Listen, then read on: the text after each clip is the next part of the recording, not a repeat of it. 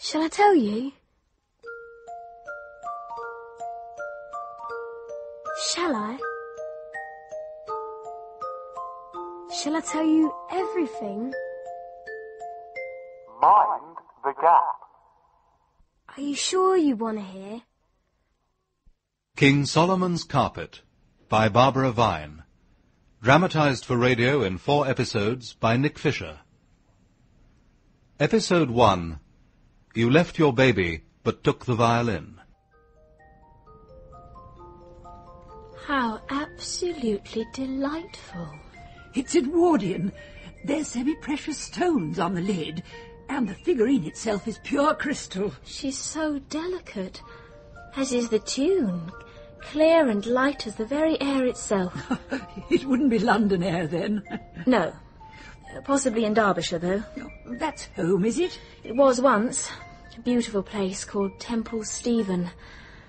I'm here now, though I don't much like cities. Mm, I suppose they're not for everyone. But there are such good shops. I'd never find this in Derbyshire. How much is it? Four hundred and fifty pounds. I'll take it. Mind the gap.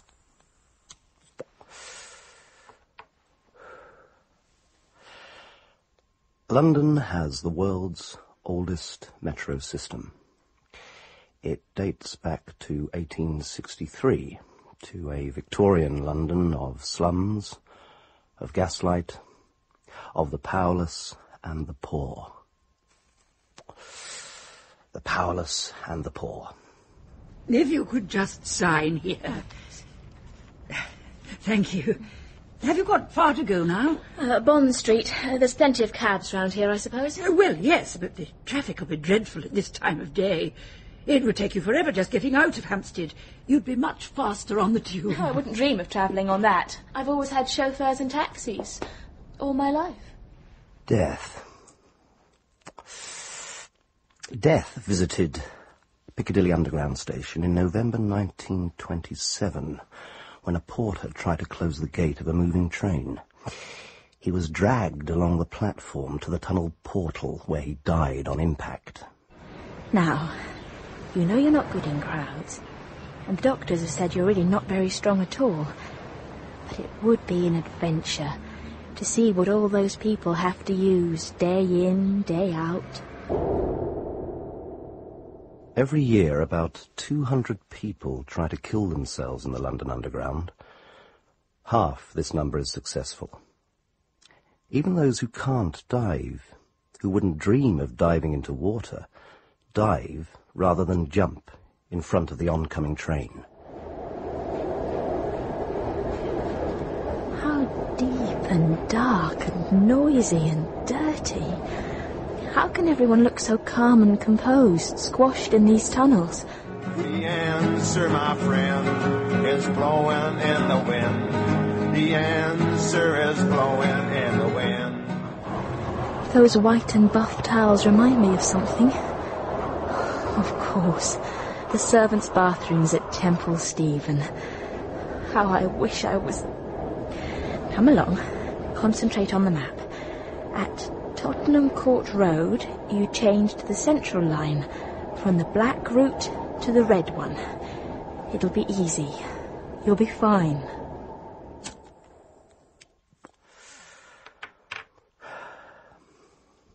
The fire began when a lighted match fell through an escalator, which led from the Piccadilly line platforms to the main ticket hall concourse. Thirty-one people died. How many years must one man have before he can hear people cry? So the next stop will be Mornington Crescent, and after that, only four more stations to Tottenham Court Road. Euston? But that doesn't make sense. That can't be right. It has to be Mornington Crescent. The map shows... The map shows I'm on the wrong train. The Northern Line splits in two. Next stop now, King's Cross. I, I don't want to go there. I don't. Calm. Be calm. You can change at Bank onto the Central Line. That's what you'll do. And it'll be all right. The worst accident before the King's Cross fire was on the 28th of February 1975 when a train hit the end of a tunnel at Moorgate, killing 43 people. How many deaths will it take till he knows that too many people have died? Bank. Now, go with the flow.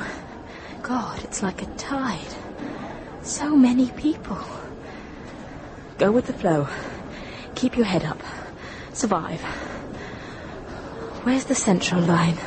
The answer, my friend, is blowing in the wind. The answer is blowing in the wind. At last. But it's so full. More people? No. No more. There's not enough space. Surely there must be a law stopping people. Move down inside the cars, please. No. No more. No. We're moving. Good. It's terribly hot. Too hot. Something's wrong. Why doesn't somebody do something? Why are they so calm? I'm wet through with sweat. It's so. What? Why have we stopped? This isn't a station. I don't want to be in a tunnel. I want to be in the fresh air. I've never been with so many people. I don't want these bodies crushed up against me. Oh, thank God. Stay calm. Stay calm. Please, get that that iron claw off me. Your heart has something wrong with it. The doctor said you have a weak valve. They found a murmur. Get that claw off. You've dropped it. Silly you. You've dropped it. The poor figurine's broken. Happening? What's... You're dying. That's what's happening. Here, in the dark, in this horrible tube, being crushed by these calm strangers. Dying. And no one knows. Does a twin know? Will he feel something now? Somehow now? With you? As you die? You've just died. Another death. Nothing special about it. Hardly a disaster. Nothing to interest me. Six months later. London, October 1989.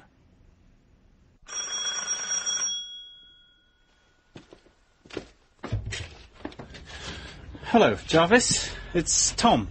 From yesterday? Of course. uh, you've decided to take the room? Well, if, if it's still available, um, several are. Uh, Sorry, uh, do come in.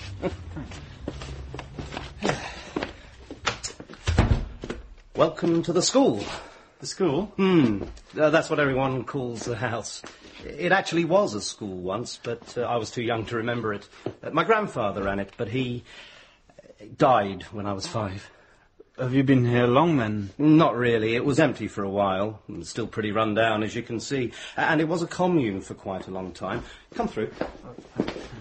Excuse the mess. Shared kitchen. Same goes for the two bathrooms, though Tina has her own. Tina being. Uh, my cousin, once removed. She's been here longer than me, in a way. Uh, she set up the commune until they all ambled off to Devon for a bit, the way communes do, I suppose. Then she sort of drifted back recently with two kids in tow. Tina for you. So there's a whole family here. Not quite. The father, Brian, doesn't live here. He pays the rent, though, indirectly. Gives Tina £50 a week or something. Maintenance for the kids, Jasper and Bienvida. Anyway, I'm sure you'll like her. Everyone seems to, especially men. She practically has a new one every week. Oh, well, I'm sure we'll get on. Well, I think I'll let you have four. S- sorry? Oh, it's still numbered like the school it once was. I've always had three. That used to be the third forms. Is that the biggest? Lord, no, that's not important. No, no, it's got the best view of the Jubilee line. Well, that's a plus. Definitely. I love the tube. In fact, I'm writing a book on it. Hmm. But you must like the tube yourself. Well, it's my place of work. Nice to hear classical music down there. Uh, I hate rock music and all those endless Bob Dylan songs blowing in the wind. There's no reason why busking shouldn't be top classical quality. Well, what I heard yesterday was that's why I stopped and chatted. Hi, Jarvis. Oh, Tina, um, meet Tom, classical busker supreme, and our new lodger. Oh, pleased to meet you. Have you seen Peter? Um, he might be upstairs. Shall I see? No, I can go. It Won't be a tick. He's very sweet, but a real eccentric. He lives for his metro systems. Distracts him from the pains of life, I suppose. Wh- Who's Peter? Oh, another lodger. The son of my mum's best friend.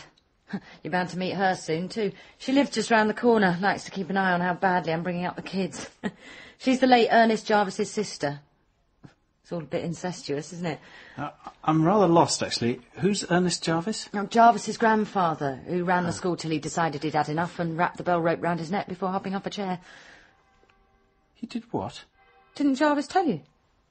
He said he died, but Oh, yeah, well, that's true enough as far as it goes. There, there's a cloakroom off the hall, which used to be the bell ringer's room, and a rope went all the way up to the bell on the roof. Not that it was ever used. Jarvis's grandfather was persuaded his school was a touch too posh for that sort of thing. So the only time it ever rang, so my mum tells me, I was just seven, was um, when he hanged himself by it. I see. How terrible. Oh, don't worry, I haven't bumped into any ghosts. Yet. now, how about a nice cup of tea?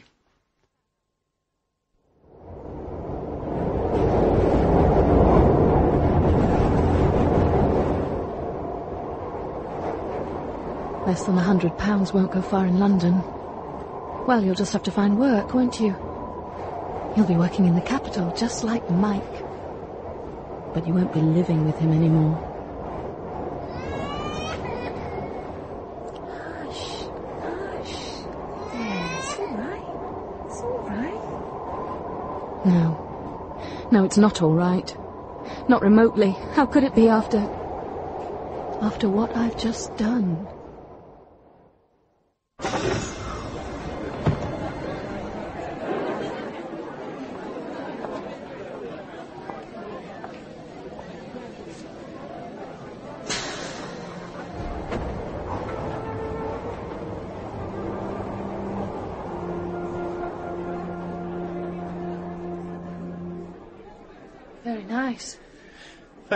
Thanks. Cheers. When I was last in London, the only busking I heard was rock music. Ah, we're different. You're a musician yourself. How? Oh, a bit of a giveaway, isn't it? Yes, it wasn't my violin I left behind. Sorry? I um, I studied at the Royal Academy just over a year ago now. Oh. Look, why don't you join us? Oh, I don't think. No, no, really, we, we'd love it. A it. trio would be terrific. Oh, you'll easily fit in with us. I don't know. I mean, I'm ever so rusty. I haven't actually played a note in eight months. Then it's high time you did. Please. Well, all right. Great. um, sorry, sorry, I'm Tom, and this is Peter. I'm Alice. We've been playing Bach's double violin concerto lately, but without the violin, so it's hardly been all the composer envisaged. Do you know it? I adore it. Ready? And.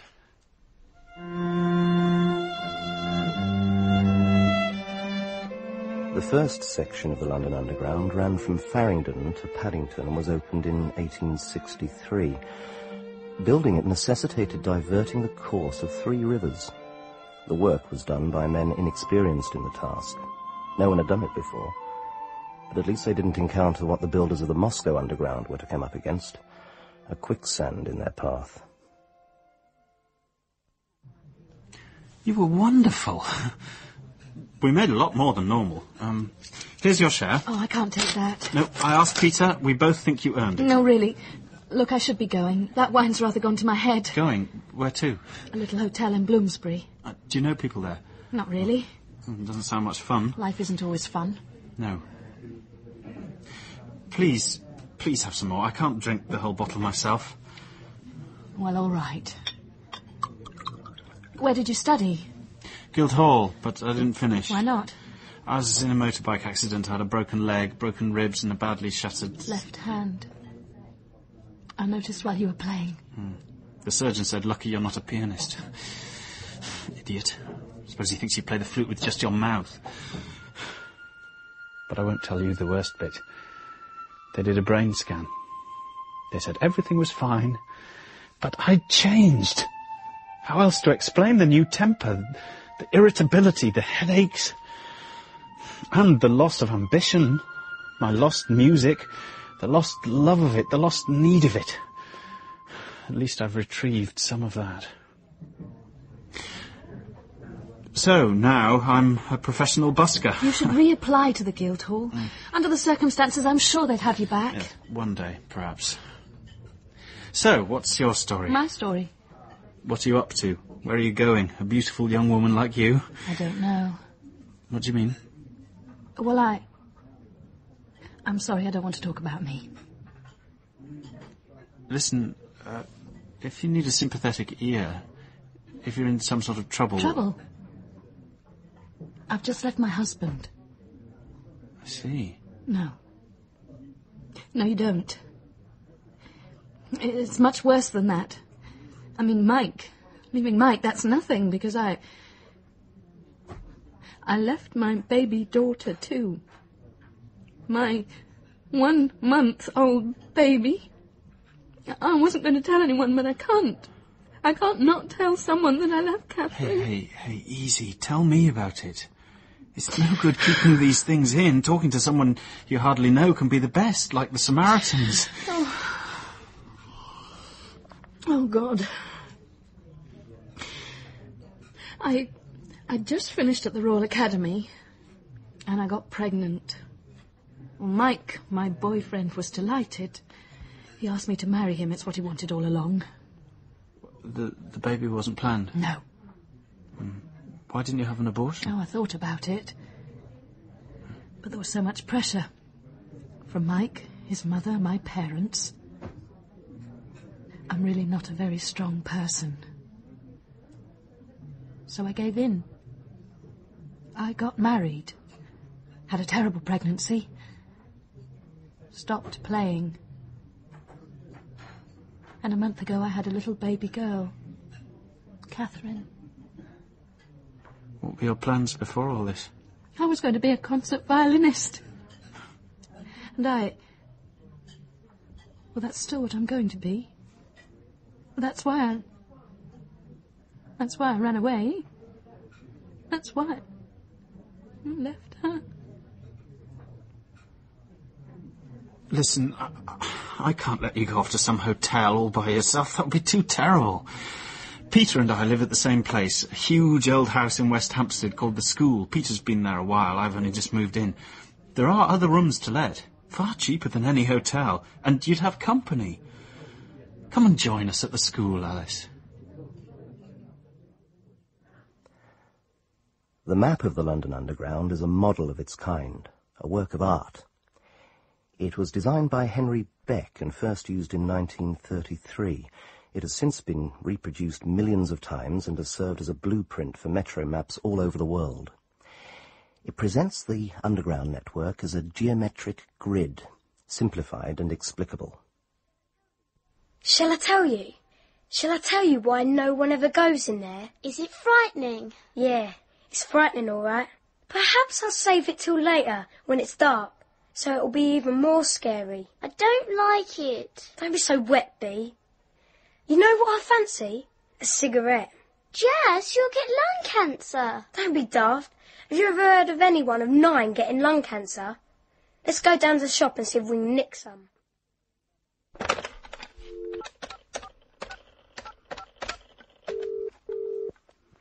Hello? Hello, it's me.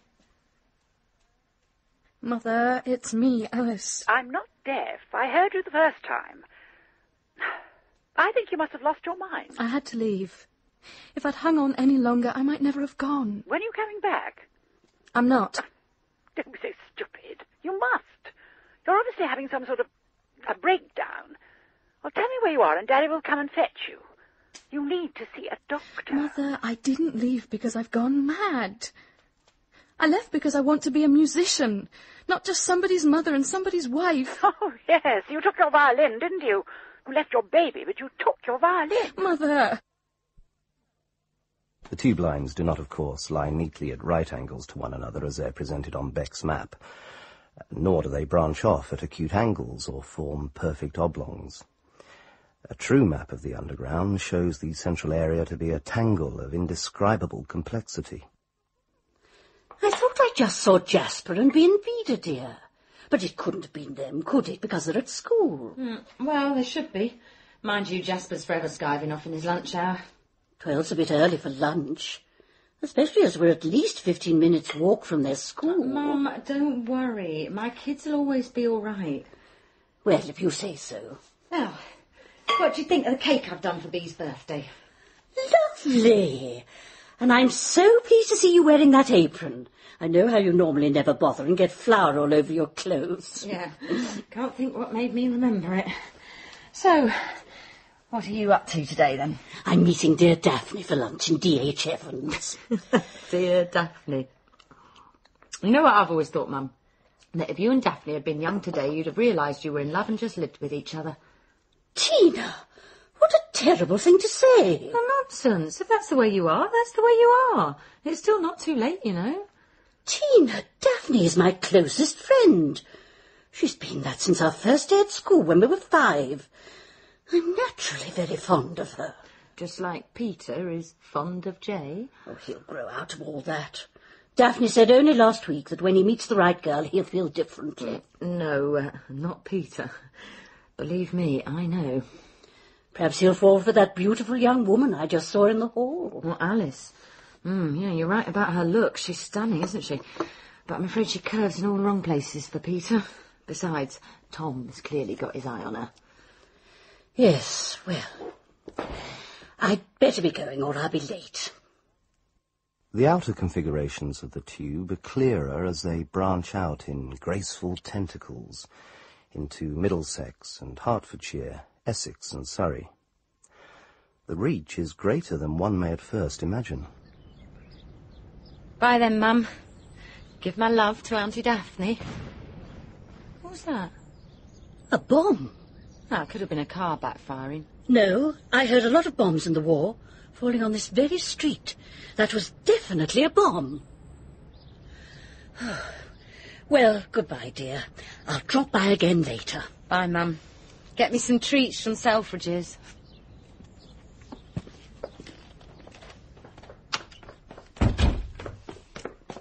What was that noise? Oh, it could have been anything. My mum's convinced it was a bomb. Whatever, it was a long way off. Do you see a lot of your mother? I'd say. She's in and out all the time, checking on the way I'm looking after the kids, or rather not looking after them, in her opinion. Where's their father? Where? I've no idea. But then I've no idea who their father is. Or rather who their fathers are. I do know it's two different men. Everyone, including Brian, thinks he's their father, but he's not. And I should know. But I'm hardly going to tell anyone. Not when he provides the maintenance. And Mum would practically have a seizure if she ever found out. Oh, Brian and I went our separate ways ages ago. We still get on perfectly well, mind you. And of course, like the good father he is, he comes to visit and takes his beloved Jasper and Bee on trips. Let's have a cup of tea, shall we? Right. Time for you to get changed. Then we'll go for a little trip, shall we? A little leisurely tour? And we'll have a bit of fun while we're about it. A bit of harmless fun on the tube. Play with a few people, shall we? If only she'd watch those children a bit more. I suppose she knows what she's doing. But it's all so different these days, I can't keep up. Things change so quickly. So, let's have a look at you. Impressive. It fooled them at the zoo, you know. Pop you in one of those enclosures with a sign saying do not feed, everyone would buy you as the real thing. now, let's just pop your collar and chain on. The only person I'd happily share with is Daphne. Dear Daphne. Now there's something in this world that doesn't change. Our wonderful friendship. How could Tina say such a dreadful thing? Funny how getting everyone to stare at you is the best way for getting them not to notice what you're really about. Familiarity is very handy too. They get used to seeing you, so they think you're harmless. They've seen you a lot. You've done nothing bad. Why would you be bad now? Right. I'll carry the Semtex. I do so love meeting up with Daphne at D.H. Evans. Such a comfort to be... Oh! Oh, it's all right, madams. Just a little trouble brewing. Get it? Trouble brewing? Brewing the bear? Trouble? Oh, never mind. Bruin, I don't know if you should have your paw on that woman's knee. She's trembling. And I know why, because she can't bear it. bear it, Bruin. bear it. Leave me alone, please. Get that paw off my leg. What do you want with me? Please, what do you want? Shall I tell you? Shall I? Are you sure you want to hear?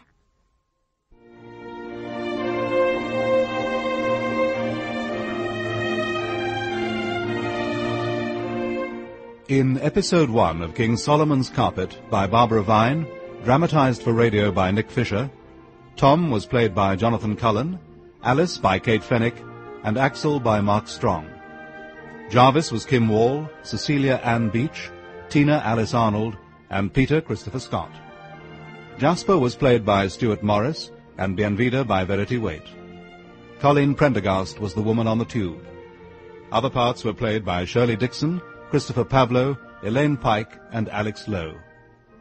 The musicians were Polly Hewett, Roland Robert, and Christine Messiter. King Solomon's Carpet was directed by Marion Nancarrow.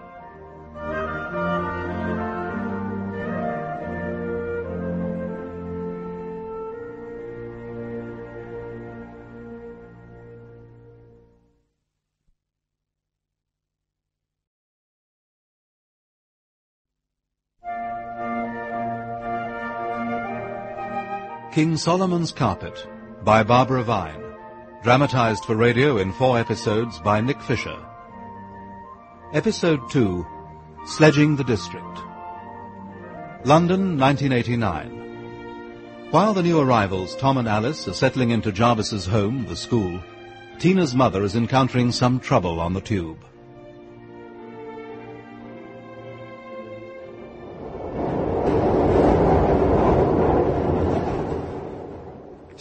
Tell you what happened? Shall I?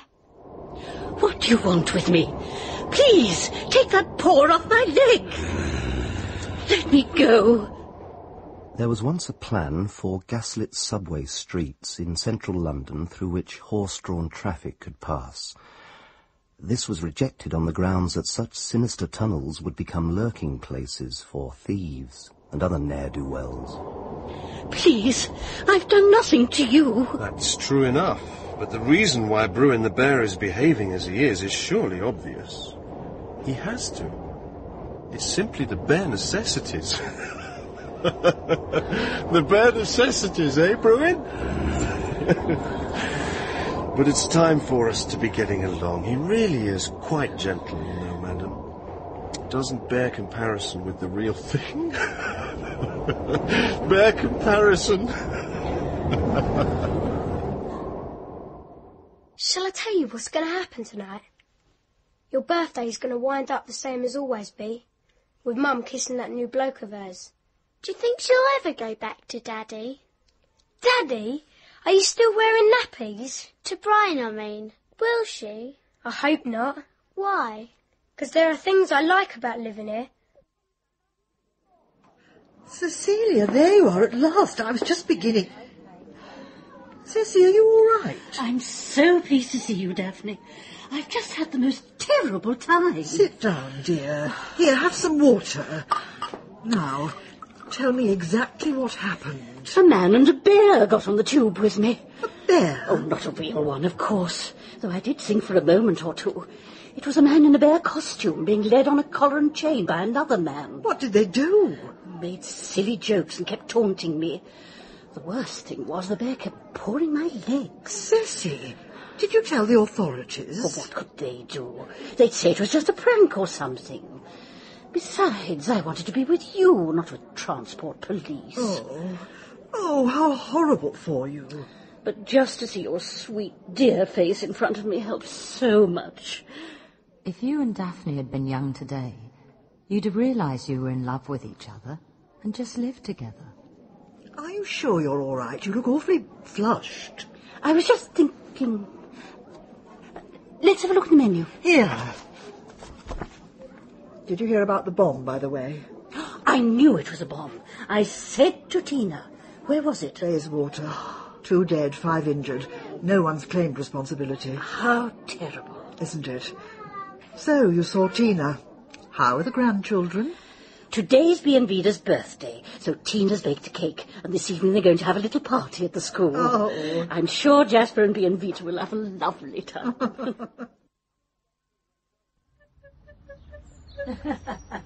Would you like to dance, Alice? Thanks, Jarvis, but not at the moment. I like just listening to Tom. Oh, right, right, of course. Um, we've got enough candles on the go. I've got plenty more. We're attracting enough mosquitoes as it is. Okay, right, right. Um, more wine, anyone? Uh, yes, please. Jarvis, who's that with Tina? Ah, uh, he works at some off licence. She picked him up yesterday afternoon. Typical Tina. Uh, are you Chardonnay or Sauvignon? Chardonnay. Where've Jasper and Bienvida got to? Oh, they're around here somewhere. Nothing to worry about there. Jazz, I just put my hand in something horrible. Shall I tell you what it was? What? A dead person's stomach like they'd been cut open and I put my hand among the insides. Dead person's guts? It's cat food. It feels like a dead person's insides. Smells like it too. Give it a rest, Bee. Now look, there's holes in the floor and ceiling, so a rope could go all the way down to the cloakroom, and they could ring the bell. But they never did. As a birthday treat, shall I tell you why? Shall I tell you why no one ever uses the cloakroom? Is it nasty? It's not nice. Tell me anyway, I quite like being frightened. I heard Tina telling Tom that an old man who wasn't our grandfather, but something like that, killed himself. He hung himself from the bell rope. In those days, he came all the way down through the house and into the cloakroom, where this bloke hung himself. Sorry, I'm rather drunk. It doesn't matter. I've got another glass. You're very handsome, Tom. Especially in the candlelight. Oh, not as handsome as you're pretty. When we're busking, it's, it's you that everyone looks at. It's you that brings the crowds, Alice. But you are handsome. Like a hero in a western. right then. Oh, why can't you stay a little longer for once? Who said anything about going? But why... Shh. Oh, it's hot. So I think I better take something off. Should I start with this?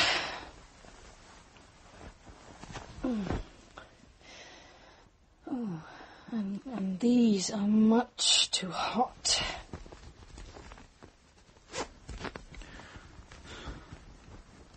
Hmm.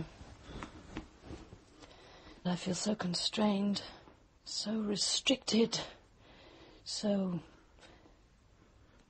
Shall I? Shall I take it off? Is that what you like?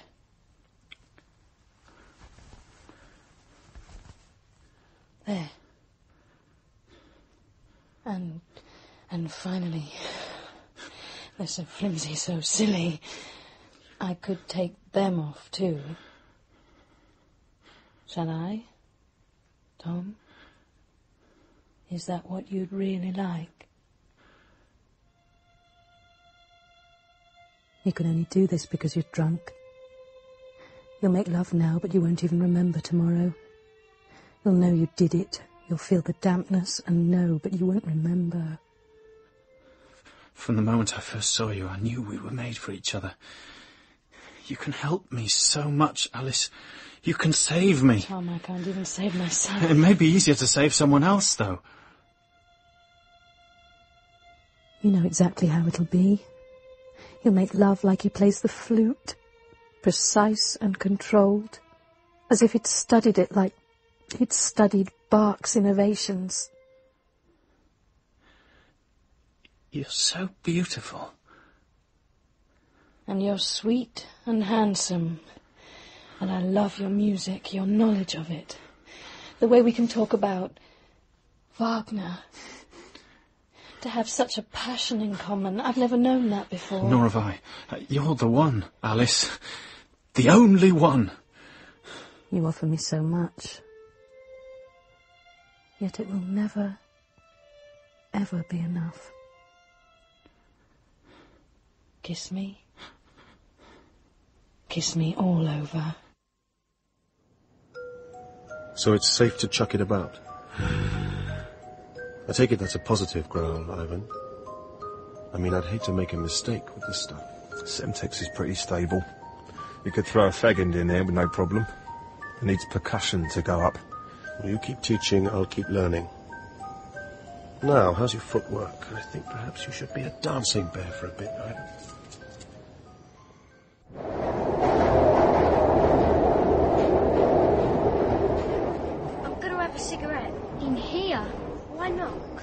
Busybody will tell you to put it out. But it'll already be out, Damon. What are you talking about? It'll be a light, but it'll be out.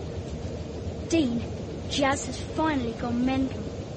It'll be outside the carriage. Watch. Now, as the door's shut, hold it in place so they're closed on it and... Hey, presto! Don't even need to hold it. I can puff on that and no one will notice because the smoke's outside. Nice one, Jazz. Among things left behind on the underground have been pheasants, several turkeys, a suitcase full of Masonic regalia, and £1,500 in cash. While that's left in the trains, what clutters the tunnels is cleaned at night by the fluffers, who collect all the human hair that is shed, imperceptibly, invisibly by the millions who use the system.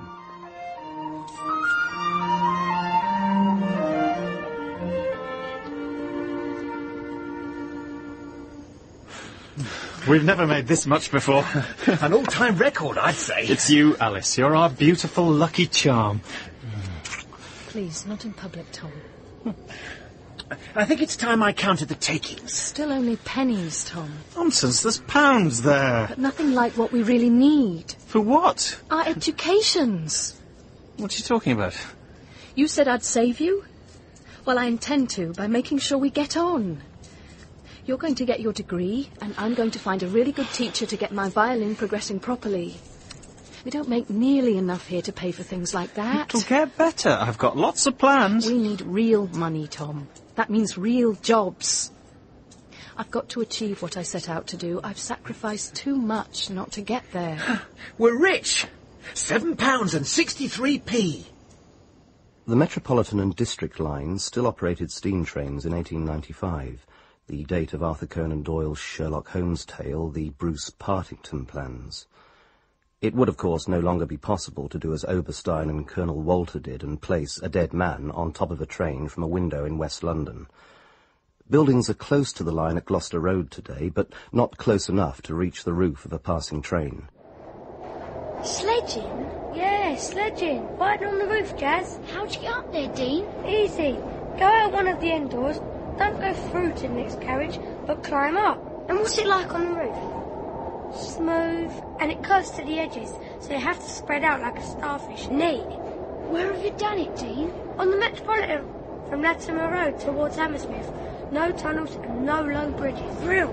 Would you ever do it on one of the underground bits? Would you? Maybe. The tunnels are pretty big on some sections. Be scary in the dark. But you'd have about 18 inches or so, wouldn't you? We could try the district, come from West Ken, but you'd have to keep over to one side coming into Gloucester Road. Why? Because you'd have that pea brain of yours scrambled by the tunnel arch if you're in the middle, you dog. Illustrations from Sherlock Holmes stories decorate the platforms at Baker Street, but the Bruce Partington plans with that body on the roof isn't among them. Can this be because London Transport's afraid it might give passengers ideas? You serious about getting tuition? Of course. I know of a good teacher. The problem's the expense. I'll give you the money. What I have is yours, Alice. That's very kind, but really I have to get a job. What, you mean a bit of teaching in the evenings? No, a real job. A secretarial job. Hmm. You're not serious. I could do it. I used to work for my father in the holidays and I got pretty good on the computer. Yes, but why? I need the money for the lessons. You couldn't carry on paying for them even if I let you start. I could earn loads. And it'd only be for a year or so. But we make money already and enjoy it. We're playing real music and getting a real audience. And we've made £21 today. Seven pounds each for a day's work. Tom, I haven't quite told you everything. I've actually applied for a job. I've got an interview coming up. You've what? I have to do this. This is ridiculous. Absolutely bloody ridiculous. Calm down, Tom. People are looking. I will not calm down. Job, secretary, we should stick with what we've got.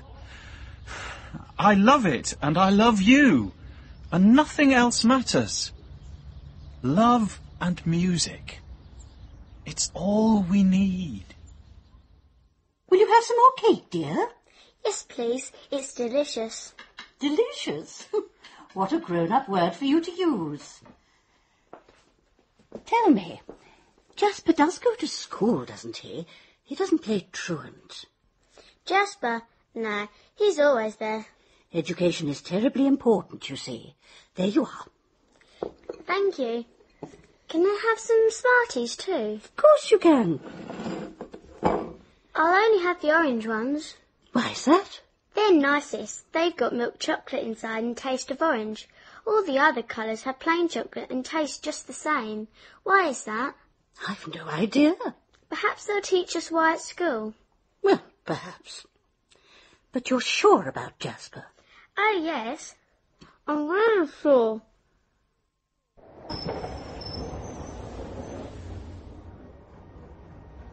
No low bridges? Nope. No tunnels? Not this far out. Right. I fancy it. You're going to sledge? Yeah. Good for you, Jas. Quick, up on the roof before we pull out again. Sit next station. Loudon. It's more curved than I expected, and it's really smooth. No ridges or nothing. How can you hang on when it starts moving? Go back down. You've got time? What, and be called Chicken by Dean? No way. There are little bits to hang on to at the top of the double doors. Not much, but something. Right. Lie flat and get your fingers. Ah! Hang on. Hang on, you'll be alright. Grip. Grip, that's it. You're gonna be alright. You can do it. Grip. Grip. Yeah! You've got it! Yeah! I can see why they call it sledging now. Just like a toboggan, only better. This beats bunking off school or nicking stuff from the shops. This beats anything.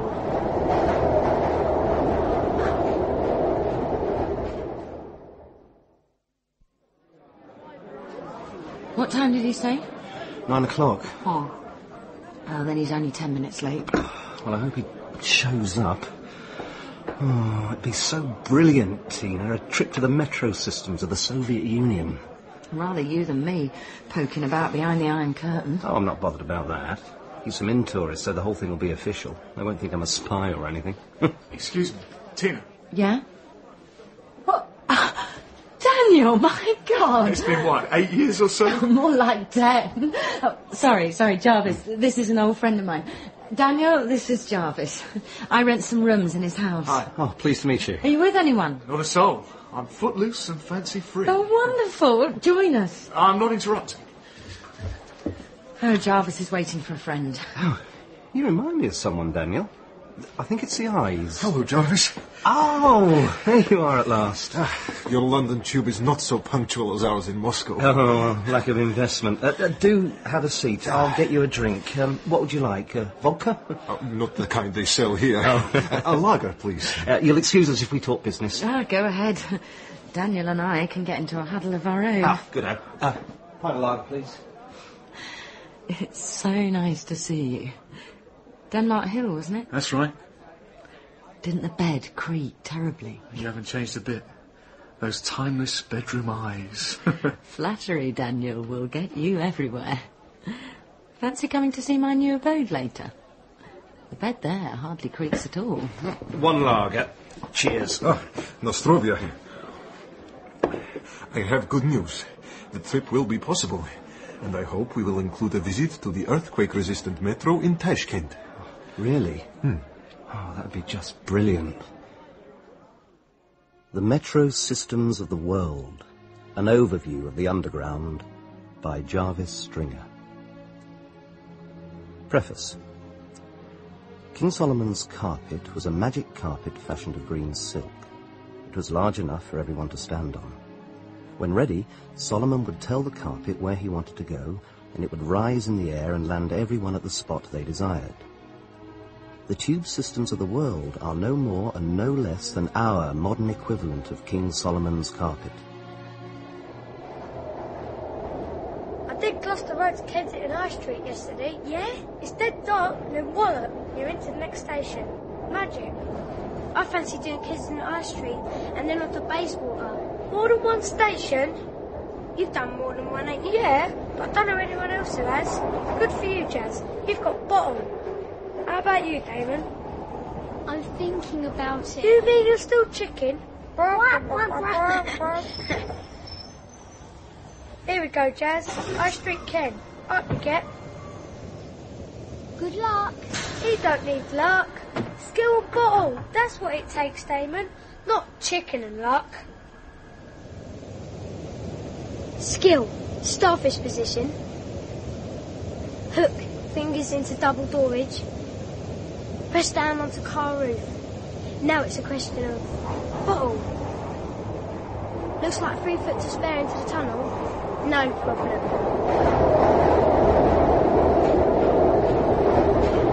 It's dark, all right. Dead dark. That's what Dean said. Dead. What if there's anything sticking down from the tunnel roof? Stone or iron spikes? You'll be dead. This is scary. This ain't like in the open air. At least it's a nice straight bit. Not so hard keeping a grip. A speck of light ahead? Yeah. Not far now.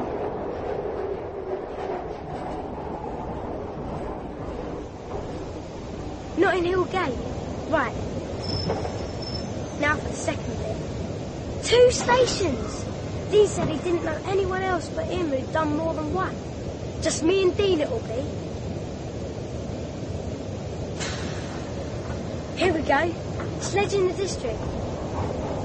Not a brick arch this time, a steel one. But it's not curved. It's not an arch at all. What? What's that chunk of metal? It's almost scraping the top of the cars, waiting to take my head off. It's coming faster and faster and no!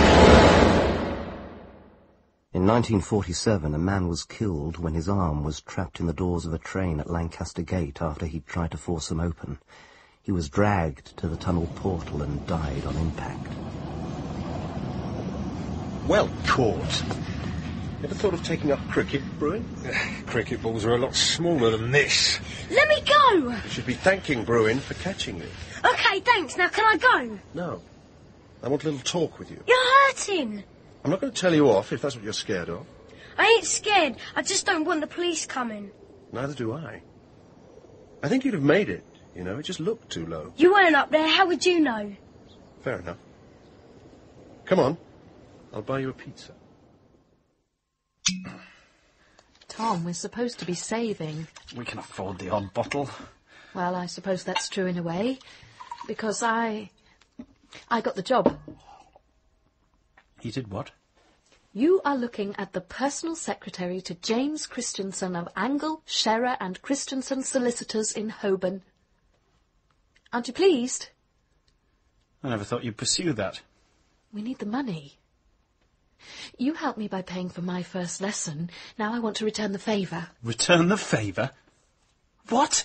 What do you... I, I, I don't want your bloody gratitude. Sorry, I simply meant we sort of agreed to share things and do things together. Oh, I see. So, so that's what you call sneaking off to get this job, doing things together? Sharing things means the two of us making music, Alice. Doing what we've done since the day we found each other. Do you remember that? Do you? Tom! Tom, calm down! It was in Holborn Station. I'll never forget the moment I first saw you. But you... You'll just stroll through that corridor on your way to this job of yours and it won't even cross your bloody mind, will it? Oh, God. I'm sorry. I'm sorry, please. Forgive me. It's just... I love you so.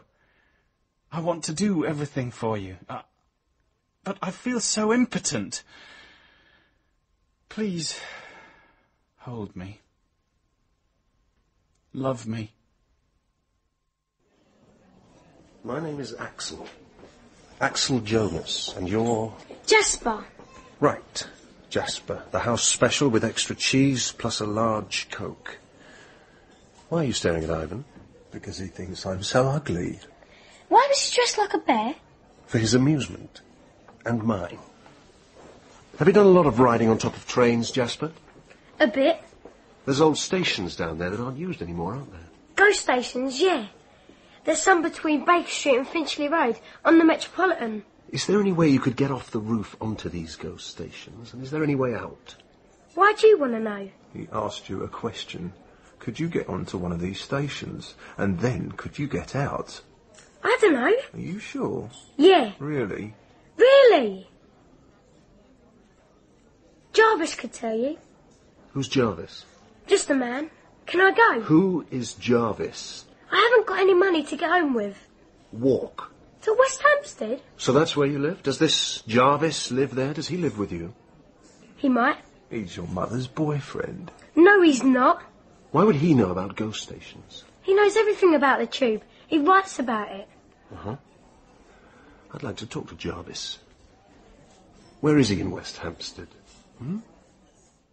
You never told. No, I legged it. Then I took the long route back here so they wouldn't be able to follow me, even if they tried. They sound nasty, Jazz. Ivan the bear was dead ugly, like the Phantom of the Opera must be under that mask. And I think Axel might have been a vampire, like Dracula. What? Who sticks his teeth in people's necks and eats the blood? Yeah, except you don't eat blood, you suck it and drink it.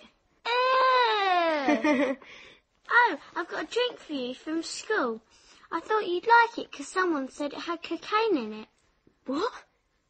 Lucozade, eh? that's caffeine, not cocaine.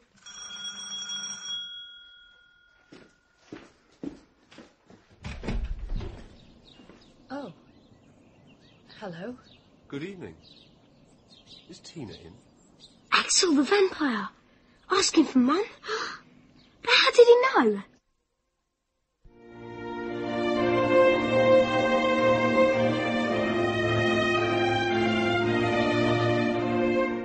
In episode two of King Solomon's Carpet by Barbara Vine, dramatized for radio by Nick Fisher, Alice was played by Kate Fenwick, Axel by Mark Strong, and Tom by Jonathan Cullen. Jarvis was Kim Wall, Cecilia Ann Beach, and Daphne Linda Polan. Jasper was played by Stuart Morris, Bienvida Verity Waite, Dean Martin Kelly, and Damon James Bell. Tina was Alice Arnold, Peter Christopher Scott, and Daniel Alex Lowe. Ivan and the Russian were played by Christopher Pavlo. The musicians were Polly Hewett, Roland Robert, and Christine Messiter. King Solomon's Carpet was directed by Marion Nancarrow.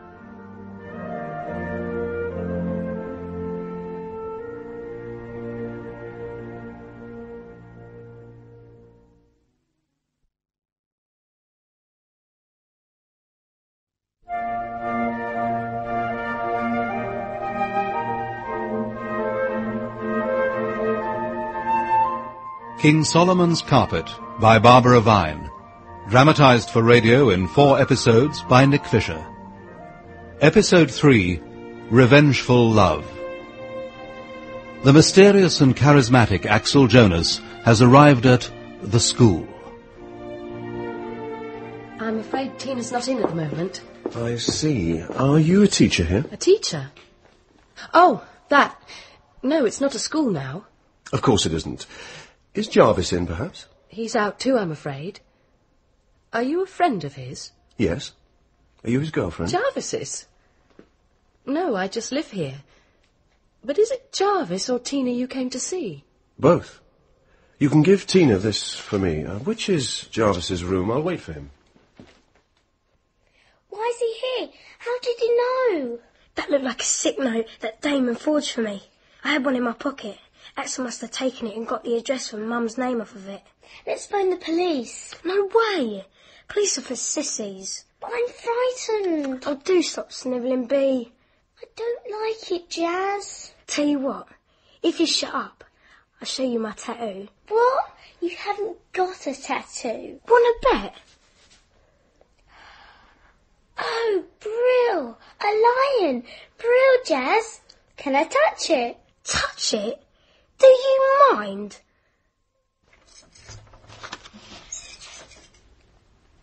Oh, you're still here. Time flies when you're reading something this engrossing.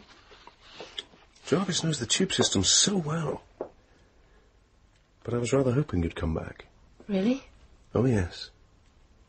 Though it's too late now, I have to go. I'm Axel, by the way. You're Alice. Alice. Alice, come here. Why? Come here.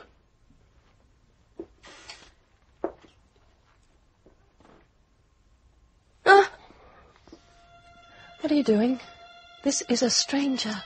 You've never seen him before. You don't know a thing about him. So what are you doing? Tom's upstairs just above you. He might come down looking for you at any moment. God, you're shaking so. Shaking. Shaking. We'll meet again soon, Alice. Goodbye. So I was thinking, I might invite Brian for Christmas lunch too. Have you told Tina? Not yet. But I so want to see her and Brian together again. I often imagine them getting married. I suppose Jasper and Bienvida would have to be there as page and bridesmaid. Mm. I'd have considered that very shocking once. But you adapt, dear. Like I've had to adapt to Peter. Is he still with Jay? Yes. I'm sure it's just a passing phase. Of course it is. All he needs is for the right girl to come along and everything'll change. They're so hard to understand. Peter and Jay? The younger generation. Ah. I've been taking my violin lessons very seriously. Madame Donskoy is hugely respected, you know. So, everything's working out nicely for you then? It's coming along. You took your violin, but you left your baby behind. Mother, please, don't start. I know your father will never speak to you again, Alice. Ever. He put the phone down when I rang the other day. And you don't even ask how Catherine is. It's better if I don't know, isn't it? I've seen Mike a few times. He never mentioned you. He's thinking of moving in with Julia and her husband. Julia's a marvellous mother. She may not be a great beauty, but where do looks get you anyway? Every train is cleaned at night. On the central line, they're litter picked at the end of each journey. At Oxford Circus, 80 sackfuls of rubbish are collected every single day of the year, except Christmas Day, when no trains run. You never told me you were seeing your mother again. Why didn't you ask me to be with you? Tom, it's bad enough that I've left Mike. How do you think she'd react if I turned up with another man? Well, she's just going to have to get used to it. I'm the man in your life now, aren't I? We'll meet again soon, Alice. Of course. But, but I'm sorry, Tom, you can't meet my mother. Can't? Can't? What do you mean I can't? No, Tom, not this again, Don't no! tell me what to do. You don't care about me at all, do you? Of course I care! You're treating me just like you treated your husband. That's what's going on here, isn't it? Oh, no, it's not! We'll meet again soon. I swear it's not. I care for you so much, for you and your music. We'll get you back at college and everything will be all right. All your anger will drain away once you get back to learning. But I'm learning every day, Alice. And I've got such plans. You'll see. There's a journalist from the Standard who's going to do a piece on us. Classical buskers in the tube. We're going to be big, Alice. Big! During the Second World War, the London Tube became a shelter. Countless thousands of people slept on the platforms of the deep tube stations. And the British Museum hid its treasures in the tunnel between Holborn and Aldwych. Good night, Alice. Good day's work. Thank you. Oh, thank you, Mr. Christensen. Good night. And good evening. How... Did you know where I worked? Um, Tina told me. Or was it Jarvis? I forget. I didn't think I'd see you again. Well, I said we'd meet soon, didn't I? Well, yes, but But you didn't believe me. Well, here I am. And here, it's a very nice wine bar. Champagne's perfect any time of the day. You know, the building where you work is very interesting. Or so Jarvis says. Apparently it's next to a building with a shaft coming up inside it that used to house a staircase to the central line. They took the stairs out and expanded it for ventilation. You could see the shaft opening from your office roof, I expect. are you wild about the underground like Jarvis? Hardly. It's my enemy. Well, a thing can't be your enemy. Yes, it can if it's done you wrong. I don't understand. No. Well, Who are you? I, I mean, what what do you do, Axel? I'm a photographer. And a bear leader. A bear leader? A friend dresses up. We entertain people on the tube. I'm mad, you know. Clearly. No, I mean it. I'm quite insane. They say if you know it, you're not. Unfortunately, they're wrong. Try the caviar. How long have you been at the school? A matter of weeks, that's all. With dear old Jarvis, the landlord? Yes. He's going to Russia in a day or so. I'll get you a taxi home. But we've only just started. Waitress, Yes, would you order a cab, please? I have to be elsewhere. This will cover your fare. But Axel... Does a hundred meet my bill? Easily, sir. Keep the change. Goodbye, Alice. Goodbye.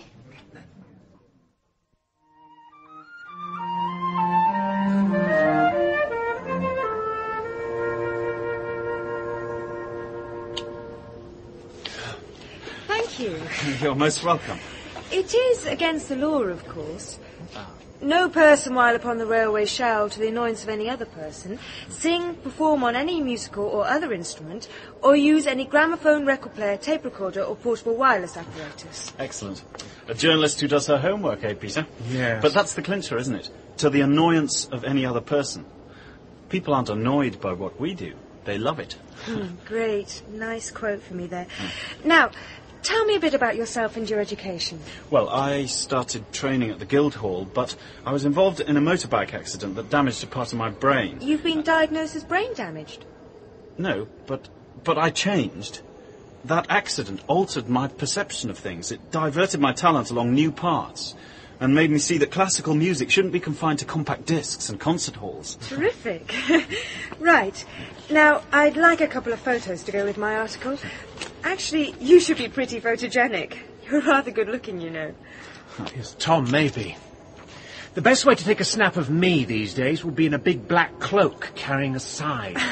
Oh, I don't think that's quite, um, uh, quite. a journalist. Lost for words. Peter, don't don't worry about him. He's got a dark sense of humour, that's all. now, w- would you like me just relaxed or with the flute to my lips? Oh, with the flute up, I think. It was a simply lovely lunch. You've never cooked a better one, Ceci. The vegetables were peerless. I do so like your fluffy roast potatoes. Thank you, dear. And it was a nice succulent bird, wasn't it? I often find turkey a bit dry, but that one was just right. Do you think they all enjoyed it? Oh, yes. Isn't the Bienvida a sweet little girl? Yes. and it was so nice to see Brian and Tina together. Perhaps they really will get married one day. Peter was looking a little better, I thought. But he's awfully thin. I wish he could just put on a little weight. He, he looks so frail these days. Well, I'm sure Jay sees to it that he eats well. That young man's quite a fusser. the way he kept Peter away from Tina and her cold, you'd have thought she had yellow fever. Yes, he, he's a bit silly like that. Well, maybe the perfect girl will come along with the new year. Perhaps we can look forward to a double wedding in 1990. How wonderful that would be. Dear Daphne, it's such a joy to have you to stay. It's lovely having the others here, but I must say it's nicer when they've left and there's just the two of us. Mm-hmm. Now, I've got a Christmas treat. A passage to India on video.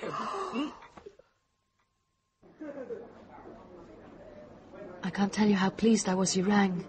I was so frightened I wouldn't see you again. I only wish we could have met later in the day. I rather dislike making love in the afternoon. Making love? You're very pretty when you blush. Sorry, I saw Jarvis off at Heathrow this morning. Much too early, but there you are. He'll still be writing his opus in flight, I dare say. Now, I've got something to tell you. I do hope you'll be pleased. Will you pretend to be, even if you're not? I don't know. Oh, please. For me. All right. I'm coming to live in your house. Sorry? I don't understand. I'm coming to live at the school. But you can't. I, I mean, it's Jarvis's home. Well, naturally, I asked him. Or rather, he asked me. But you've already got somewhere. I can't go on sharing with a bear. Alice, you promised to pretend to be pleased with my news. I'm renting the art room in the fifth. Above me. Above me and Tom. Let's get you in the fresh air. You're looking a bit faint. Tell me, what do you believe in, Alice? What do you mean? In God, some principle, or what? Whatever you like. Well, I suppose I believe in music. I thought you might say that. Well, what do you believe in? Everlasting love. Love beyond the grave. Revengeful love and retribution. I have to go. Taxi! Go? But, but I thought you said... I have an engagement I absolutely must keep. But I'm coming to the school, and you must be happy about that. Will you take the young woman to West Hampstead? Starfish position. Not much to grip, but enough. And it gets easier the more you do it. So you can think about other things. Like getting the bell right through the school. Or about Axel. What's he doing moving in? He doesn't seem to be interested in me. But I think I'll steer clear. Whoa! One of the old ghost stations! Should I tell B? It'll frighten her. She likes being frightened. And when I get back, we'll go out for a meal. We can't afford Nonsense. it. Tom, I may be making £800 a month, but you're only making 80 It'll change soon. Wait till that piece comes out in the Standard. Oh, oh. Hello. Hello. I'm Axel Jonas, a friend of Jarvis's. I've come to live here. Hello, Axel. Uh, I'm Tom. This is my girlfriend, Alice. Very pleased to meet you, Alice. I must go. See you later for that meal, darling. Come and have a drink in my room. Darling.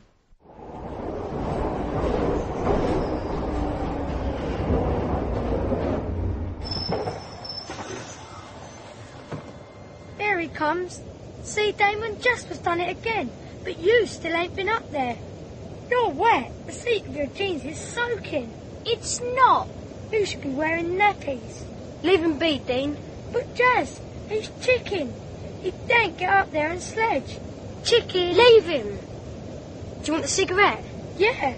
Let's get one in the doors before they close. Right, I'm going up. Quick, Jazz. Neat. Hey, where's the chicken gone? Up on the roof. He's going to sledge after.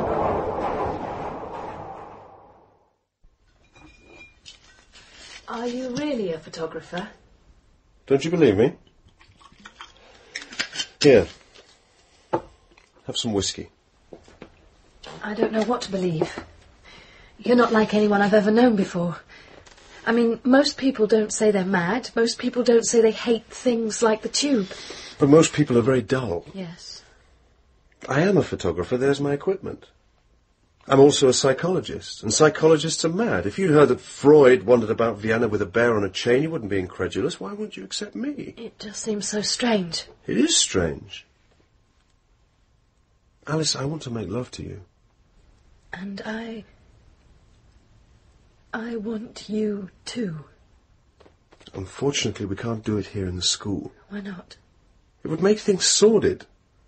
Tom might come back. Other people live here. No, it has to be somewhere else. But where? Love will find a way. We shall overcome.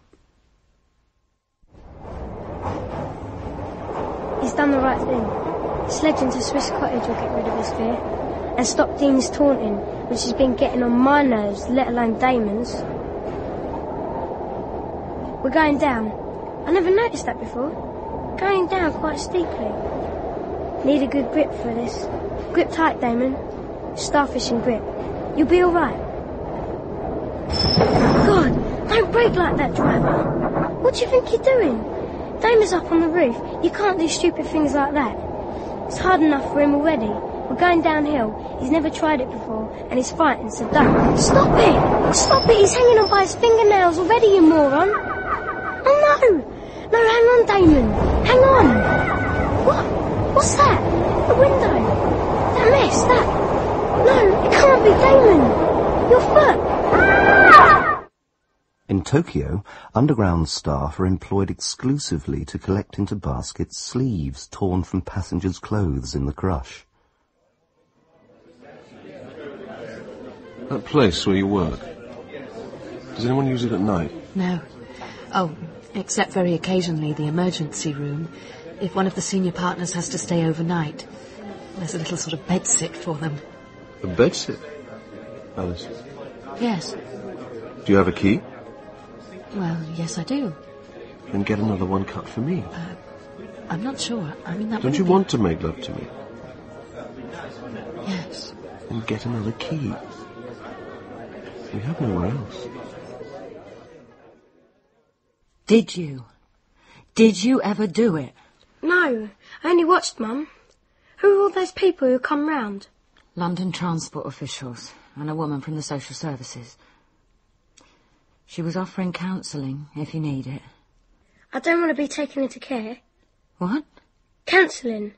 Isn't that like cancel care? Gary Stevens in our class was taken into care. Counselling doesn't mean that at all, Jazz. Now, promise me you'll never do what Damon did. I know boys will be boys, but this is different. All right, I promise I won't. And don't you dare tell your grandmother that poor Damon was a friend of yours. She'd worry herself sick if she knew. His death will be in all the papers, of course. But Damon's name won't mean anything to her. And there's some of your favourite Smarties, too. Thank you. That boy Damon who was killed in the tube wasn't a friend of Jasper's, you know. Jas never goes on the tubes, ever. He doesn't ride on the top of trains and he doesn't know anyone who does. I see. Where the hell have you been? I need to talk to you. What? What about? About this! Bloody journalists. Oh, the article. Well, what did you expect, Tom? Not a send up. She said she'd write a serious piece, and just look at the picture.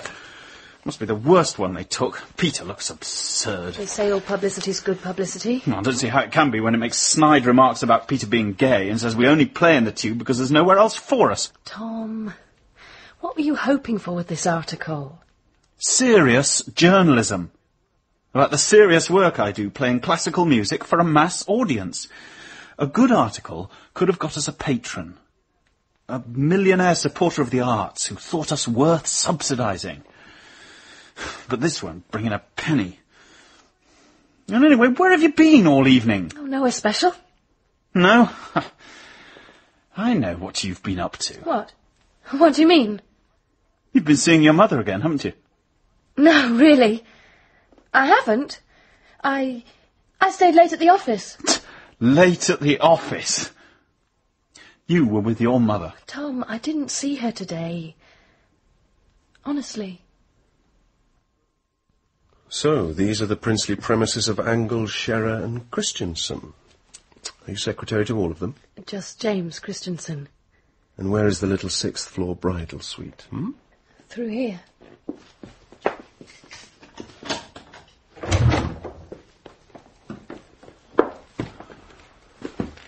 Functional. But well sprung.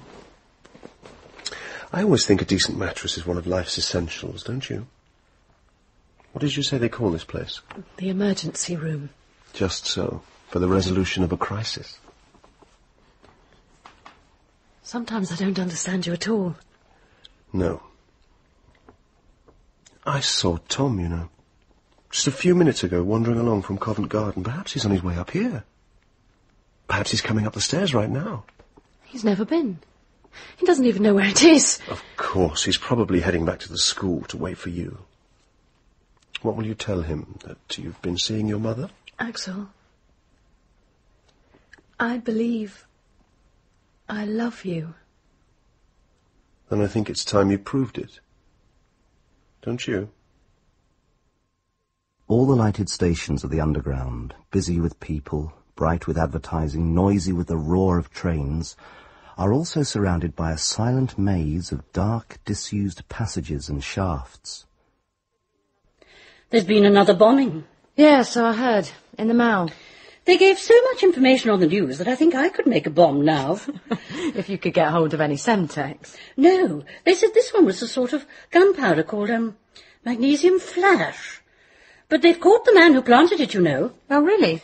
Yes, there's a picture of him in the late editions. Here, with a hare lip.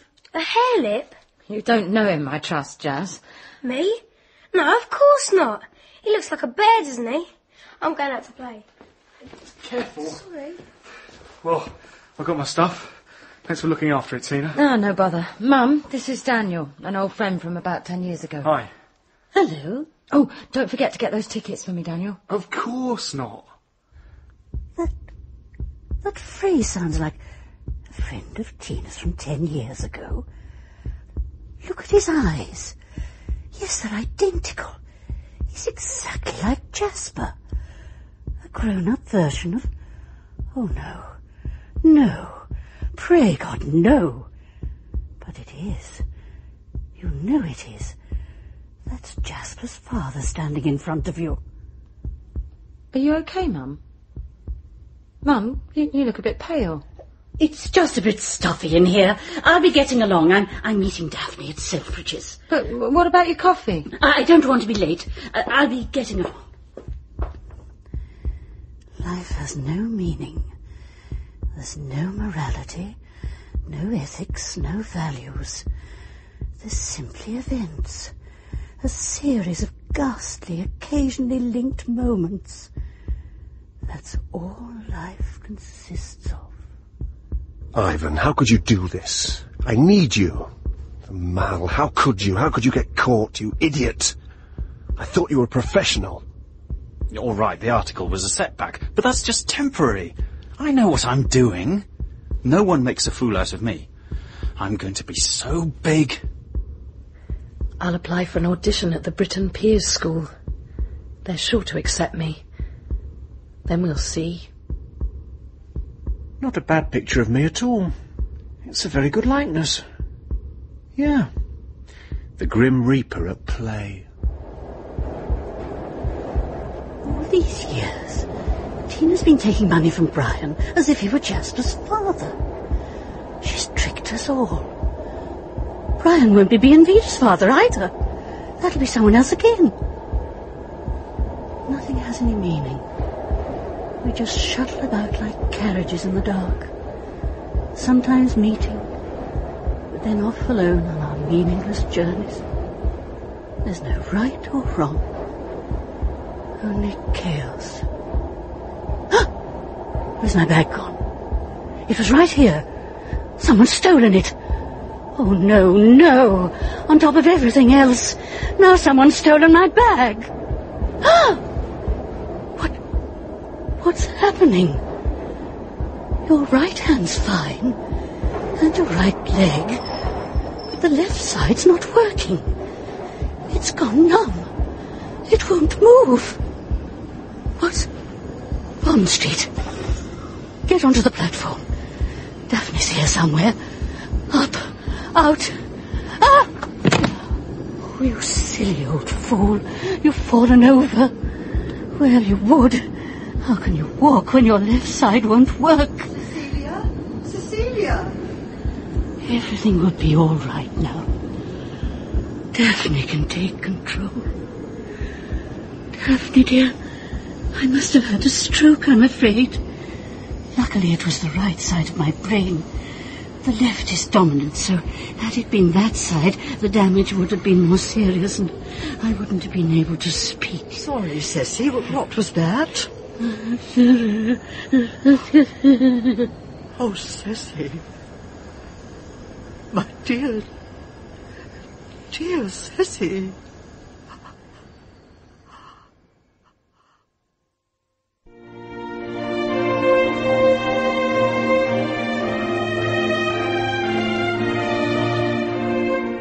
In episode 3 of King Solomon's Carpet by Barbara Vine, dramatized for radio by Nick Fisher, Alice was played by Kate Fenwick, Axel by Mark Strong, and Tom by Jonathan Cullen.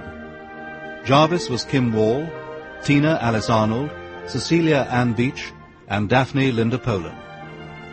Jasper was played by Stuart Morris, Bienvida Verity Waite, Dean Martin Kelly, and Damon James Bell. Alex Lowe was Daniel. Other parts were played by Christopher Scott, Shirley Dixon, Elaine Pyke, and Janet Moore. The musicians were Polly Hewett, Roland Robert, and Christine Messiter. King Solomon's Carpet was directed by Marion Nancarrow.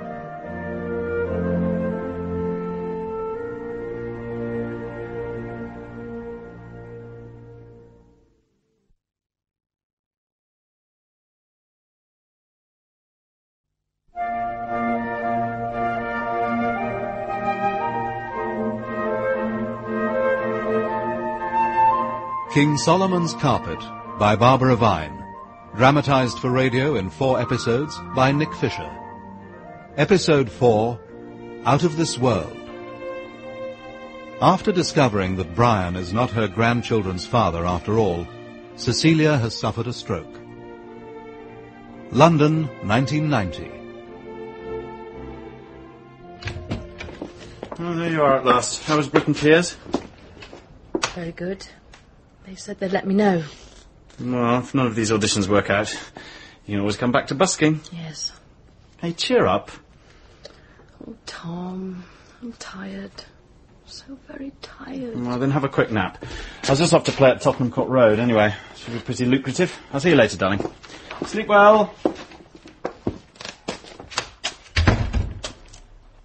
During the war, at night, shelterers on the platform at Russell Square heard a soft, continuous roar coming through the tunnel of the Piccadilly line. This turned out to be the snoring of sleepers at Holborn, the next station down the line.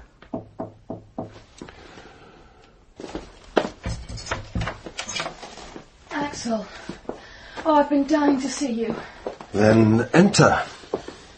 What's that on your hands? Oh, just a bit of magnesium powder. From the stuff you used to make the flash for old cameras, I'm experimenting with some original techniques. Talking of which, I'm getting a new assistant. Tom. What? He could use some extra money. We get on very well. I've had a lot of interesting chats with your Tom recently. What? What about? Alice, you don't think I'd talk to him about our little emergency room with its nicely sprung bed at Angleshare and Christensen, do you? I don't know what to think. I just know I love you. Not that we'll go there any more. I've decided to put an end to all that. What have I done wrong? Nothing. It would just be so humiliating to get caught at your place of work. Home is best, Alice. There's a great big blank in the middle, dear. I remember seeing the children with Tina. Then the next thing was finding myself with you on the platform. I think that's often the way, Ceci. I have a feeling some awful things happened in that time, and they brought on the stroke. Well, you mustn't worry about that now. Do you believe in eternal life, Daphne? Do you think the soul leaves the body at the point of death and goes to a place of bliss? No, dear. No, I don't. Neither do I. But I now know one thing I would never allow before. You, Daphne, love me, Cecilia. Sounds like the wedding ceremony. You love me as I love you. And after so long denying that, it gives me so much pleasure, indescribably so, to say to myself, Daphne and I love each other. She won't get through these auditions, but it'll be for the best in the long run. She'll be much happier in an orchestra like mine, anyway. Tell me, what do you think of her? Of Alice? Me? Yes. Oh, I suppose she's very beautiful. But you're right to discourage her musical ambition. She hasn't got it in her. How do you know that? Oh, I don't know. I'm not an expert. But I did ask her to play for me the other day. I must say I was rather disappointed.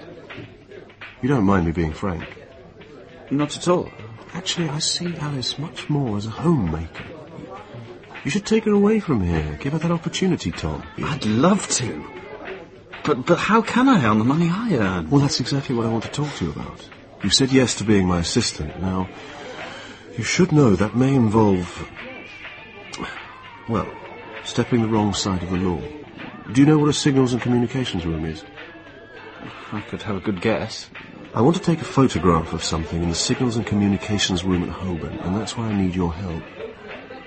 Why do you want this photo? I'm a photographer. But taking pictures of things the authorities want to, want to keep secret sounds more like the action of a of a spy. a spy? How does ten grand sound? I'm sorry. Ten thousand pounds in cash. One up front, nine to follow. Okay?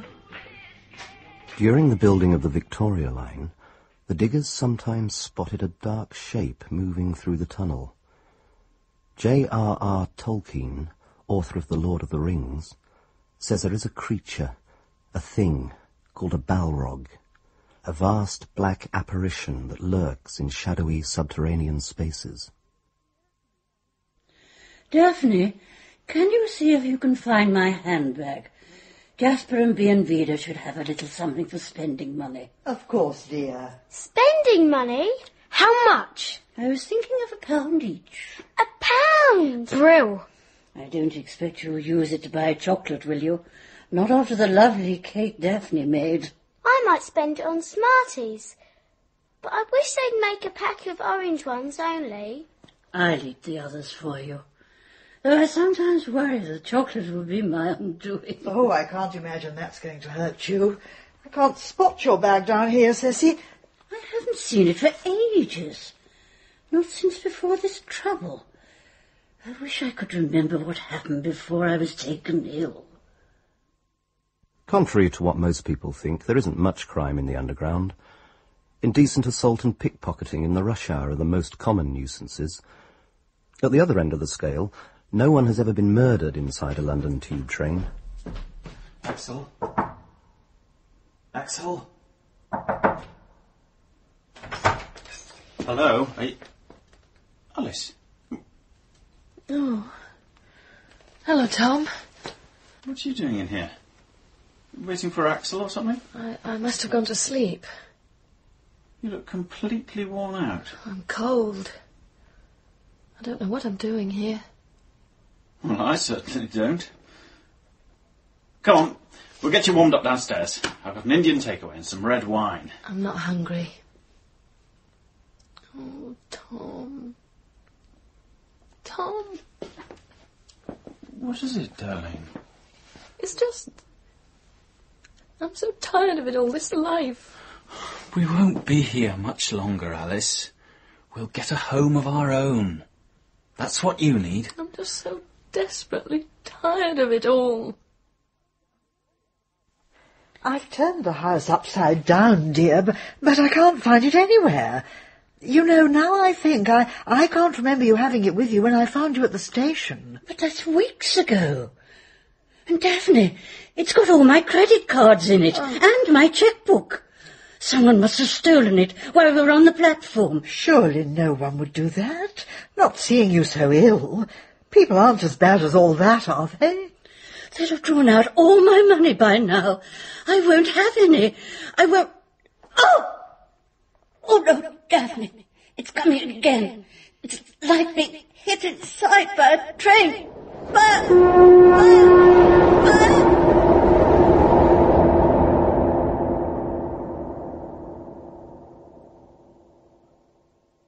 You mustn't blame yourself.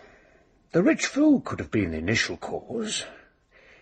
Now, she's quite comfortable, but I'd better phone round and see if we can get a bed.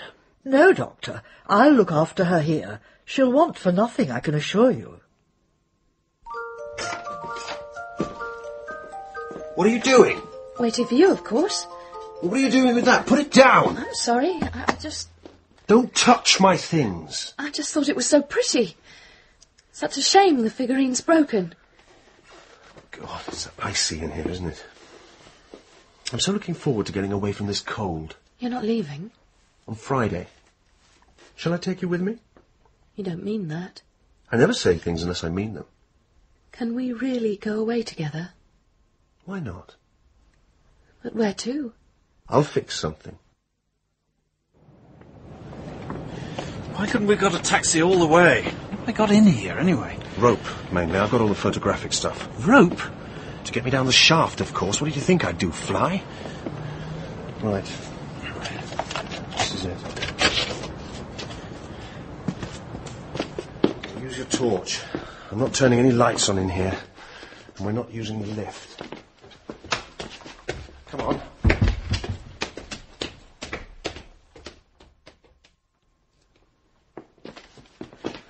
What is this place?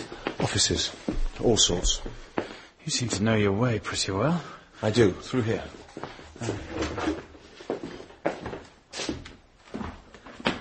Flat. It's odd, amongst all these offices. Well, via the window. Ow! What's up? I just stubbed my foot on something. A file. Angles, sure. Dawdling. I'm coming. Right. Across the roofs. Just follow me. Engel, Scherer, and Christensen. But that's where Alice works. Axel has keys. He knows the place inside out. He has keys to Alice's office. And to a flat. With a bed. What's wrong? Um, uh, sorry, nothing. What are you staring at? Oh, these. The keys interest you, do they, Tom? Yes, I can see they do. Is that where you're going? Down there? That's the shaft, yes. Now, let's get this bolted together and attached. Just hold that tight against the parapet. Good. Right. That can't budge. Okay. I'm going down. Some shafts once contained lifts, others staircases. You can look up through the inside of these enormous cylinders and see, in the dimness, the old Edwardian tiling, a yellow and brown design, spiralling the circular walls, following the course of what was once a staircase. He has the keys to her office. And to the bed you just saw. They've made love in that bed. At the school, too, in his room, above yours. You'll never enjoy her again, Axel. In 1983, a vagrant tried to push someone under a train. He was charged with attempted murder. While locked in a police cell at Clapham with two other men, he successfully garroted one of his companions with his own shoelaces. He was subsequently sentenced to life imprisonment. Friday. We'll be going away. Axel will take me to somewhere new. Somewhere out of this world. Back just in time. Axel! I calculate you're halfway. You saw me looking at the keys. You realized I knew, yet it didn't bother you. Well, the knife I've just got from the flat where you seduced my lover, the knife that's now beginning to cut through your rope, may bother you more. I can see you now, Axel. Look up. Look into my eyes as I kill you. Everlasting love and retribution. You don't even begin to understand.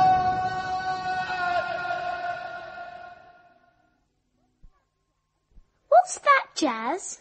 Rope. What does it look like? Spaghetti? Where did you get it from? I saw Axel cutting up this huge coil in the garden. He put this bit in the shed. I borrowed it. What for? B, use that brain of yours for once. If you've got one, that is. Right. No one will ever know what's happened to you, Axel. There's nothing left now to link you to the top of the shaft or to me. And you thought you were so clever, didn't you?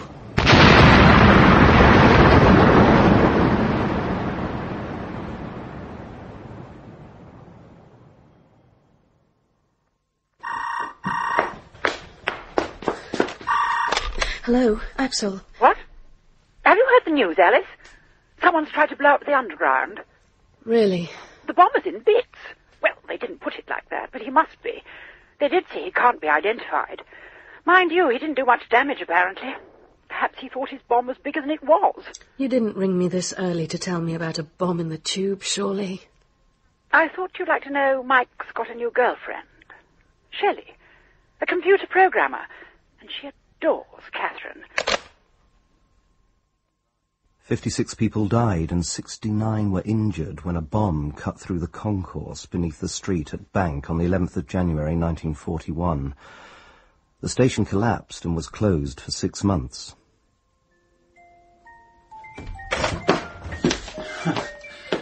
I thought I'd find you here. There's no point in waiting, Alice. He's not coming back. What do you mean? What I say? Axel has departed. Well, why's he left all his things then? He, he doesn't need them where he's gone. I don't believe you. I know all about you and Axel. He doesn't care about you. Not remotely. Not the way I did. Uh, he, t- he told me to tell you he's, uh, he's gone abroad. You won't see him again. when I found out, I thought it'd be all right once he'd gone. But it's not. It's spoilt. I don't want to see you again. Fine. I don't want to see you. You haven't a chance with him. I want you to know that. I don't believe him, Axel. You'd never have told Tom things like that. I trust you. Though there is so much I still don't know about you. What's this? Magnesium flash? Of course. The powder on his lovely hands. For the photography. To Axel with all my love. Alice. What? Am I... Am I just a substitute for some old flame? Is that what I am? Is, is this hers too?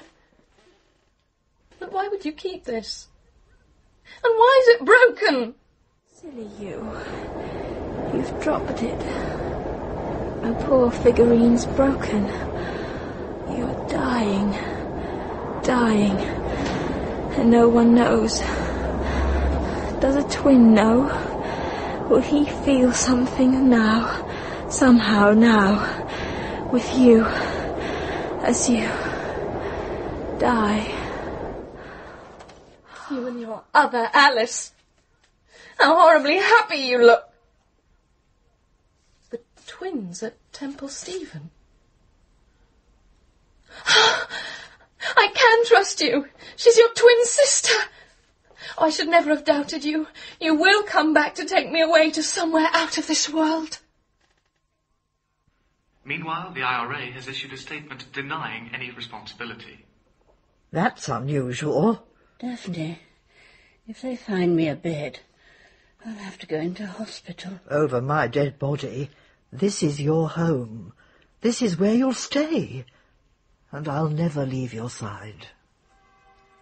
Dear Daphne, I knew I could count on you. Yes, this is where I'll stay. That's right. Take my hand. I can feel you, you know. I can feel your pulse, so full of life. Oh! No! No! Oh, that's intolerable. Like a drill being pushed into my side. I...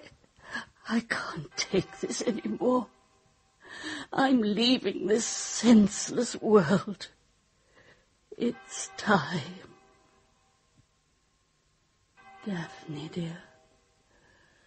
I have loved you so. I have loved you all my life.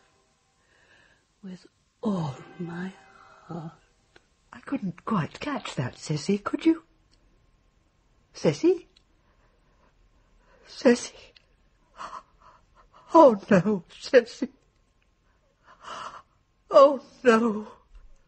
My dear, dear, darling Cissy. Goodbye, dear.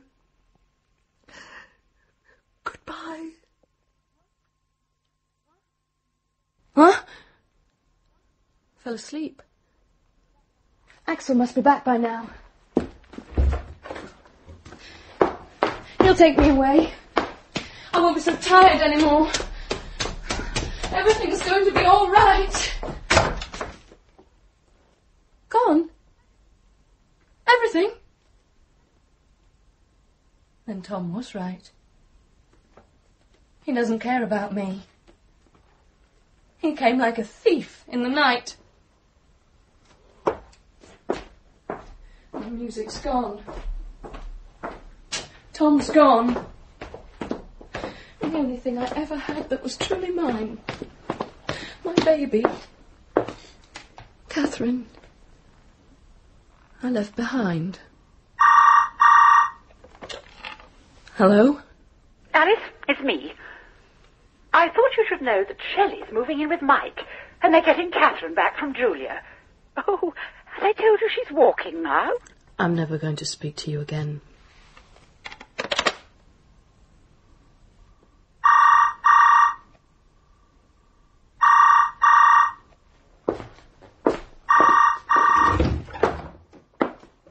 Oh, yes.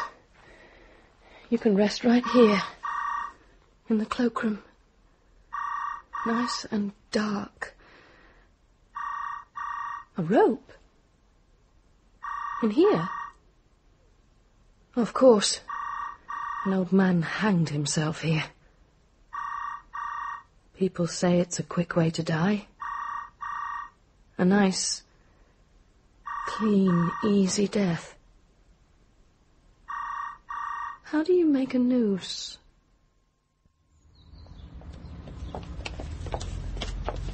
Tina! Tina! Jazz B! How are you all? Oh, Jarvis! I'd forgotten you were coming back today. How was the trip? Oh, th- fabulous. The Moscow Underground should be visited by everyone. I've got some amazing information. And I've almost finished writing about London's version of King Solomon's graffiti covered magic carpet, alias the Tube. Whatever's that? Jazz, it's your bell. How did you get the rope to make it ring without you being there? I'm not making it do anything stupid. It must be magic. It's from the school. It's the old bell. Oh no. If Mum hears that, it'll bring up all the stuff about her brother's suicide. I'll, I'll, I'll see you later.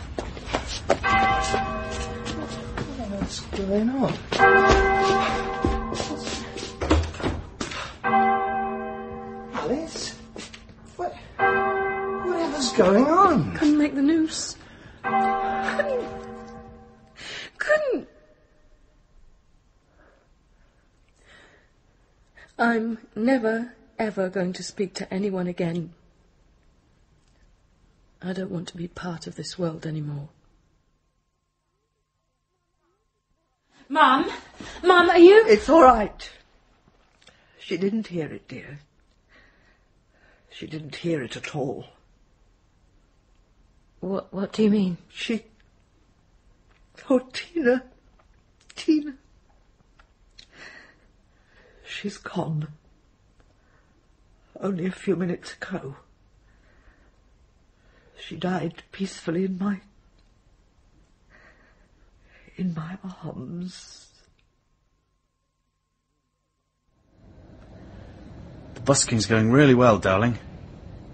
I've got some great ideas for amplification and such. Things are getting better by the day. I forgive you. I've decided to take you back. Alice? She may be hearing you, but you won't elicit a reply. She's retreated into muteness. I'm afraid it's a severe condition, but we'll do all we can. Did Axel leave owing you rent, Jarvis? Who's Axel? You know, the good-looking one who saw you off at Heathrow and then came to live in Five in the art room. Well, no one saw me off at Heathrow. Anyway, I don't know any Axels. Must have been a squatter. I bet it was Axel who blew himself up. So shall I tell? No. I'll keep that secret. I shan't even tell B. I wonder what it's like if you blow yourself up. Right, Axel. Time to erase every memory of you. Alice thinks you ran out on her. She never realised I shifted your things for safekeeping, shall we say? Tucked away till today. For cremation. A tinny little sound. Ah, wait till I get the Vo Converter 5000 going at High Street, Ken. Well, thanks for that at least, Axel. Your money paid for it. Hmm, What's this? Mag? Flash? Uh, probably just some old photographic junk anyway. Right, the last trace of Axel is hereby confined to the fire. I win, Axel. Ashes to ashes.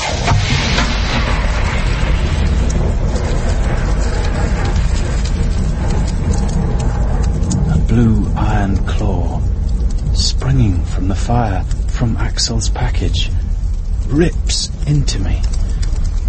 It's so fast. It's almost as if it comes from inside me. And now, in this tiny moment of time, that claw serenely takes me out of this world, calmly tears me to pieces. Tom?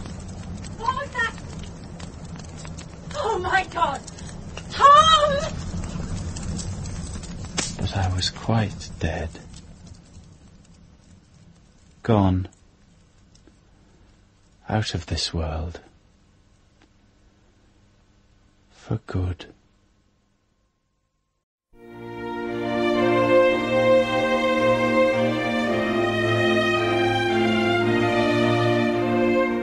In King Solomon's Carpet, dramatised for radio by Nick Fisher, Alice was played by Kate Fenwick, Axel by Mark Strong, and Tom by Jonathan Cullen. Jarvis was Kim Wall, Tina Alice Arnold, Cecilia Ann Beach, and Daphne Linda Polan. Jasper was played by Stuart Morris, Bienvida Verity Waite, Dean Martin Kelly, and Damon James Bell. Alex Lowe was Daniel. Other parts were played by Christopher Scott, Shirley Dixon, Elaine Pyke, and Janet Moore. The musicians were Polly Hewett, Roland Robert, and Christine Messiter. King Solomon's Carpet was directed by Marion Nancarrow.